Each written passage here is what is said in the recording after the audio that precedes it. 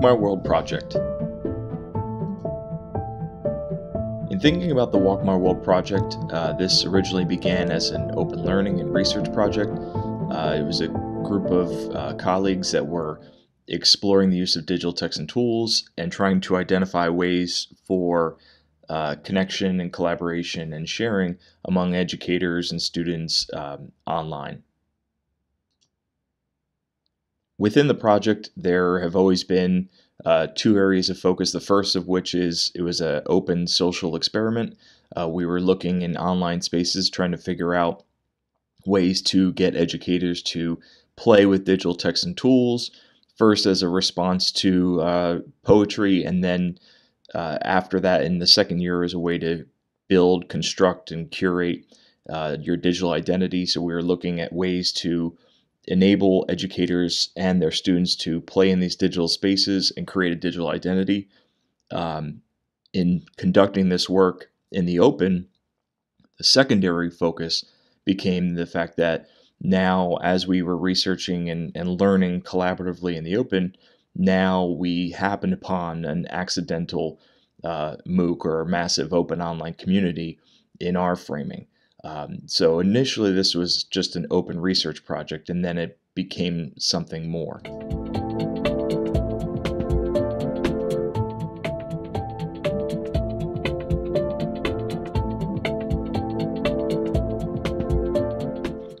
The first year of the project occurred in uh, 2014. What, like I said earlier, we focused on the poet laureate Robert Hass. Um, for the most part, it was, as I explained earlier, that the different participants in different classrooms and learners globally. Uh, so we had K 12 students globally. We also had some higher ed students, and we had teachers and instructors all sharing and connecting online. Um, but for the most part, what we would do is we would give people a prompt. They would respond to the prompt. They would create some content and they would reach back out and share content on Twitter using the hashtag. And then learners would interact and connect, and we would tweet and retweet and favorite different uh, pieces that people shared.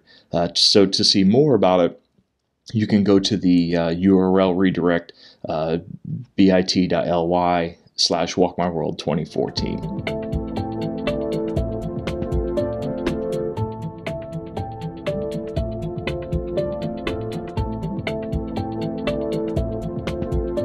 The first year we ran the Walk My World project was in 2014. Uh, basically, as we said earlier, a lot of the learning events, we had 10 learning events. Uh, each learning event lasts a week. Each learning event has a basic or a simple uh, starting point. So there's a common shared experience, something that anyone can do, anyone can get started on, regardless of expertise or digital savvy. We wanted it to be approachable for everyone, but then extend it so that anybody that really wanted to dive in and do more or remix or had expertise in a certain way, by all means, they could jump out and, and try new things in the first year in 2014, a lot of the work focused on Robert Hass, the U.S. Uh, one of the U.S. poet laureates. This was uh, an artifact of work that we did previously in in different versions of these uh, research experiments, where we play with digital tools and connected to language and literacy. Um, so the, the the learning events, the 10 learning events are all available on the webpage. You can click through and see what we've shared. Um, but basically, we wanted people to get out there. We wanted them to, in weeks one, two, and three, get started playing with Twitter, play with digital text and tools, play with tools like Instagram and Vine, create content and share it out online. In week four, we remind participants that we are focusing on Robert Hass and poetry and thinking about ways that we can use digital tools to unpack uh, poetry and literature and figure out what these things for uh, mean for us, but then also use that as a vehicle, the poetry and the digital content and the project, uh, use that as a vehicle to start to unpack our own identities and the ways that we name things and our own private histories and the narratives that we create and we share out with others. Uh, weeks five and six, we have participants continue to read Hass's poetry. At this point, we had them not only uh, reading the poetry, but we started adding the poetry to spaces like Poetry Genius so that people could annotate and comment on the poems.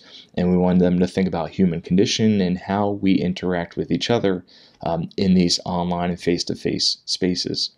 Week seven, we extend it a little bit more and we think about uh, feelings and, and specifically the feeling of happiness and how we connect um, and, and what do we see in the human condition as we share and create and connect with others. Um, week eight, we ask participants to create their own poetry. Um, so they started to create short poems or haikus and, and create this and remix it with digital content and share that out on the Walk My World hashtag so that others can see what you've done and how we play with text and the, and the digital content.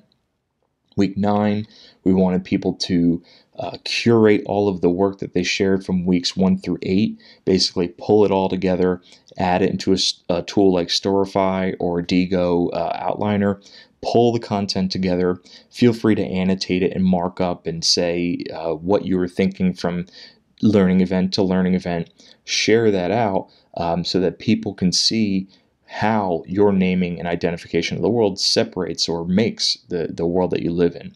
And then week 10, share that content out with someone else in the project and get some feedback on what they see about your world or what they see as you allow them to take a walk in your world in 2014.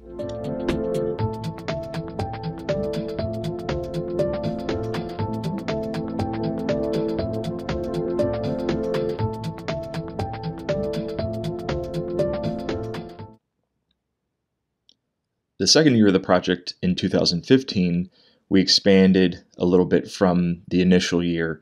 Uh, we did not focus on one poet laureate or one uh, piece of text across the entire experience. Instead, we looked at expansion of digital identity and helping educators and their students think about their own digital identity and create and construct online content to stretch across the 10 learning events. So we instead of focusing on one laureate and and the poetry, we focused on summarizing and synthesizing across multiple texts, trying to make sense of this, um, and then what that does to uh, your digital identity as you create and share and collaborate online. To see all 10 learning events for 2015, you can visit the URL at the bottom of the page, uh, bit.ly slash walkmyworld2015.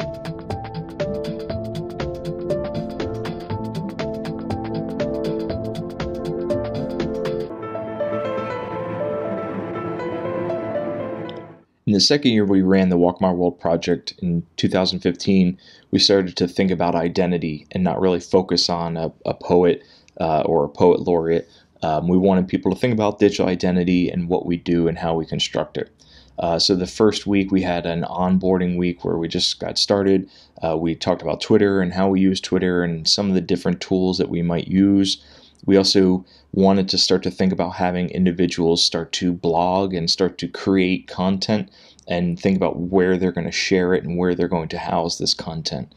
Um, we were believers in you know in open learning and, and creative commons licensing but also uh, publishing on your own space and syndicating and sharing it out elsewhere um, we started off with the first real learning event by opening new doors we wanted participants to take a picture of their front door and share it out so we can see you know the different spaces that we live in and, and how we connect and where we enter and exit through different portals in our life. Uh, the virtual high five we wanted to start folding in the uh, community immediately and getting people connecting and collaborating. So we wanted participants to reach out to someone else online and give a virtual high five to someone else. Uh, in uh, the learning event three, we wanted people to reflect on their own identity. Uh, learning event four, we brought in some different multimodal content and wanted people to think about dawn and the start of their day and how we, you know, the routines and rituals we use as we start our days and how they might be similar and different across the globe. Um, learning event five was a lot of fun. We were, were talking about totems and about different things that um, almost religiously or spiritually make us who we are. Um, so we're really pushing participants to think about their identity and things they believe to be, um, you know, taken uh, sacred, uh, taken to be sacred, uh, writ broadly. Um, the learning event six, we thought about uh, dreaming and how sometimes when we dream there's these in-between places where we can go and and what are things that we dream about or also the the the con- converse of that what are things we might have nightmares about. Uh, the mirror was another uh, fun learning event for learning event 7 where we thought about uh, some of the magic involved in mirrors. Uh, learning event 8 we th- we talked about the hero's journey and the journey that we're all on uh, learning event 9 we had participants start to think about themselves as uh, journalists and start to document this journey that we've been on. Um, and then learning event 10 is a way to wrap everything up, think about the story that we've told, and then how do we conclude all of the work in 2015.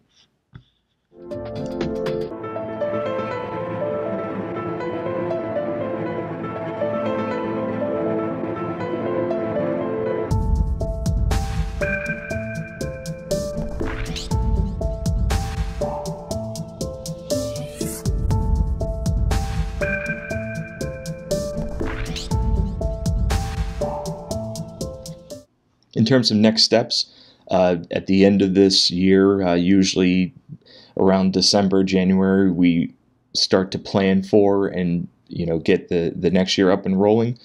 Once we start these different meetings, these meetings we've conducted in the past online openly using a Hangout on Air. Anybody is welcome to come on in and join us as we plan.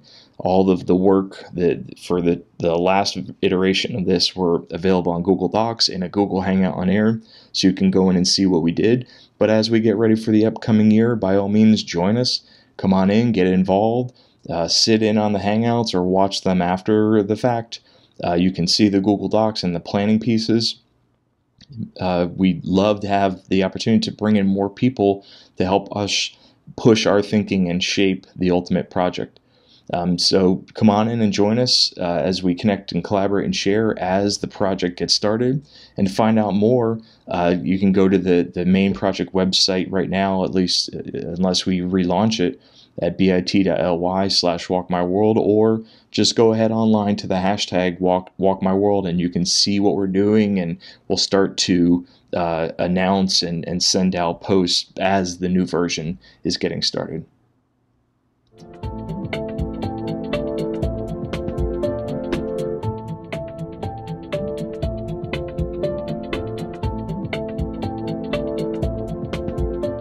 So the main website right now is this website that we built up in Google Sites. So if you take a look, we have uh, the the last round of learning events. Uh, we have where exactly in the world are the different uh, participants, uh, the so what question, which is terribly important when we do anything in our classroom, the list of organizers, and most of all, uh, the, the research that we've conducted. Um, different elements that I want to make sure that we pay attention to as we look at the website.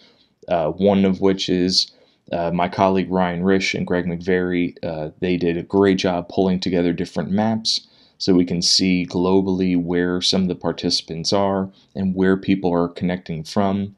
I'd also want to highlight uh, the, um, at least on the first page, the fact that this is an open research project. We want to foreground our use of your data in our research um, and let you understand where we're coming from. So I think it's really important that we talk about exactly what we're doing and why we're doing it. To give you an example of, of what we're doing, we basically give you the privacy and research guidelines built into the site so that you know exactly what we're doing. What does privacy mean? What does uh, public mean? What do we mean by open? We want to be open and forthright with what we're doing and why we're doing it. Um, and we've had other colleagues, other researchers reach back out and find value in this and start to take these guidelines and modify them for their own purposes. So I think it's it's important that as as researchers, and I think as educators, we're all researchers. Um, we provide opportunities to explore this and explain what we're doing and why we're doing it. On the research page, we talk about a lot of the research that we've already conducted. Um, we had a piece published on the first year in the MIT Civic Media Reader. We'll share those links out in the broader uh, materials. Uh, we also have different theoretical perspectives. We have case studies. These are individual learning events um, and work by people in the first year of the project. Um, and then we had some of the, the follow up and the wrap up from the first year. Uh, it was basically us trying to make sense of what happened um, and some of the, the larger themes that people shared out. The case studies piece is interesting because you can see a lot of the work that people shared that first year. Um, this is a lot of the work that went into the initial uh, the MIT Civic Media Reader pieces, and it's also work that went into uh, some of the other publications and presentations that we had. Uh, and then to wrap things up, at least looking at the overview for the site, once again, this is great work that, that Greg and McVerry and Ryan Rish put together on pulling in these maps and making better use of exactly where are we as we reach out and share. Uh, so you can see already there's a lot of different groups from across the globe that are getting involved, individuals that are getting involved and sharing. That's a pretty powerful visual to see what people are doing. And this is people that are hanging out online creating, sharing, opening themselves up, and trying to figure out what these different social media uh, and digital tools can possibly mean for teaching and learning.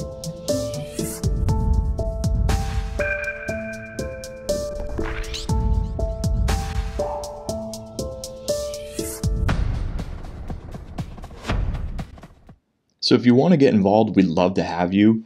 Uh, this is an open experiment. This is an open community of learners.